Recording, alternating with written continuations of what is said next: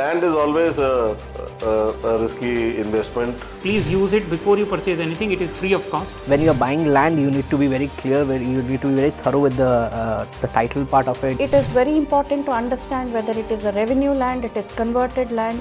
One of the problems that we face is title. You need to be extremely careful when you are going outside of the city limits.